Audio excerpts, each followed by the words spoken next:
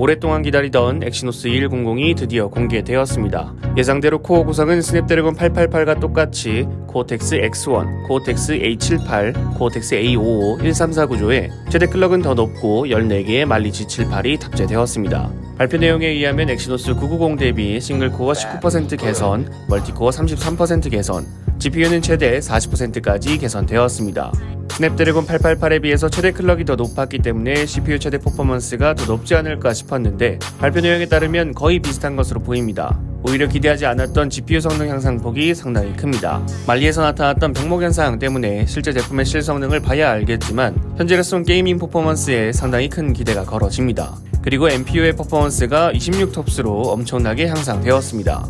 스냅드래곤 888의 AI 퍼포먼스도 26 TOPS이지만 스냅드래곤은 NPU가 존재하지 않습니다. CPU, GPU, DSP를 조합해서 연산하기 때문에 전력을 더 많이 필요로 하는데 엑시노스 같은 경우에는 NPU 단일 퍼포먼스가 26 TOPS이기 때문에 기대가 큽니다. 하나 눈에 띄는 점이 있다면 공개 행사에서 비교 대상이 2019년 NPU의 퍼포먼스였죠.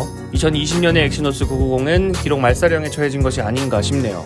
이번 엑시노스 2100 현재 나온 spec sheet 자체로는 상당히 개선이 많이 되었습니다. 스냅드래곤 888과 비교해서 CPU 성능은 거의 비슷하고 GPU 성능은 더 앞서는 것으로 보입니다.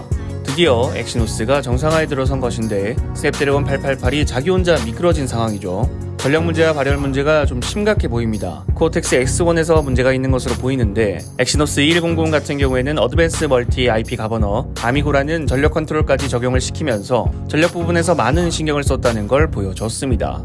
엑시노스에서 문제가 발생하지 않는다면 엑시노스는 성공한 한 해가 될 수 있어 보입니다. 근데 또 엑시노스에서 문제가 발생할 수도 있으니까요. 출시까지 기다려봐야겠습니다. 그리고 한 가지 중요한 점, 삼성이 공식적으로 내년 엑시노스에는 AMD GPU가 탑재될 것이라 언급했습니다. 르누아르에서 그래픽 연산 성능은 증명했기 때문에 기대가 될 수밖에 없네요. 올해 갤럭시 S21의 매력이 느껴지지 않는 분들은 내년을 기다리는 것도 좋아 보입니다. 애플이 환경보호라는 사탕발림으로 충전 어댑터를 뺀 이후 삼성도 충전기를 뺄 것이다, 빼지 않을 것이다 이야기가 많았습니다. 과연 페이스북에 게시한 인클루디드 UR 갤럭시가 삼성의 흑역사가 될지 아니면 호언장담이 될지 우리 눈으로 확인할 수 있는 자료가 등장했습니다. 독일 IT 매체 윈퓨처의 보도를 통해 갤럭시 S21 시리즈의 패키징 렌더링이 공개되었습니다. 먼저 갤럭시 S21 플러스입니다. 한눈에 봐도 평소보다 부실한 걸로 보입니다. 박스가 아이폰 12 시리즈의 패키징처럼 두께가 상당히 줄어들었고 박스 상단의 각인에 S의 본체의 색깔이 들어가는 것 같습니다. 구성품에는 갤럭시 S21 플러스의 본체밖에 보이지 않습니다. 하단에 기재되어 있는 내용을 보면 갤럭시 S21 플러스의 패키징에는 사용 설명서, USB-C 타입 케이블, 유심 핀만 동봉이 됩니다. 다음은 갤럭시 S20 울트라입니다. 울트라도 마찬가지로 박스의 두께가 얇아졌습니다. 기본 제공품도 동일하게 사용 설명서, USB-C 타입 케이블, 유심핀입니다.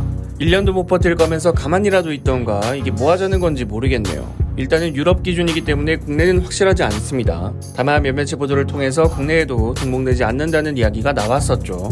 박스를 나라마다 별도로 만들 가능성은 작기 때문에 아예 챙겨주려면 샤오미처럼 선택사항으로 충전기가 제공되는 게 최대의 행복회로입니다. 과연 국내에는 충전기가 제공될지 기대는 안 되는데 마지막 희망이네요. 여러분들이 생각하시는 갤럭시 S21에 대해서 댓글을 남겨주시면 감사드리겠습니다. 시청해주셔서 감사합니다. 지금까지 알비였습니다.